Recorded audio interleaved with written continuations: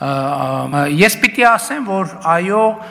հայտարարությունների մակարդակում մենք տեսնում ենք որոշակի լարվածություն։ Բայց նաև օգտվելով այն առիթից եւ գուցե հետահայաց մեղավոր զգալով այն բանում, որ մենք հանրության հետ ոչ ամբողջ տեղեկատվությունն են կիսել եւ հայտնի հանգամանքների պատճառով եւ օգտվելով առիթից, որ ահա հրաապարական քննարկելու դաշտը մեզ հայտնի իրադարձություններից հետո ընդլայնվել է, ես ուզում եմ մի քանի շեշտադրումներ անել։ Առաջինը ինչպիսին է խաղաղության պայմանագրի բանակցությունների ընթացքը։ Դուք գիտեք, որ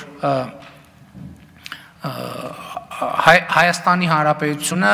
Վաշինգտոնում ադրբեջանական կողմին է փոխանցել մեր մեկնաբանությունները եւ մեր առաջարկները, մեր տեքստը ըստ էության խաղաղության պայմանագրին վերաբերվող եւ մենք սպասում ենք Ադրբեջանի արձագանքներին եւ այդ արձագանքների առումով պիտի ասեմ, որ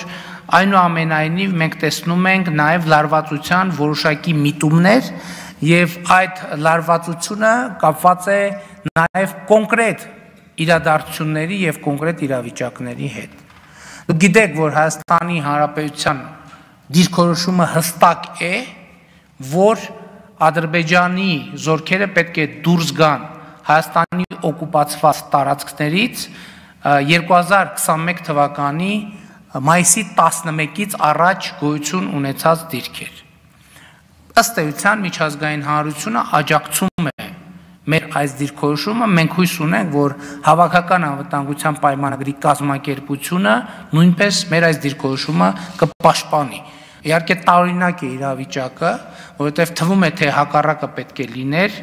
հապկը պետք է պաշտպաներ հստակ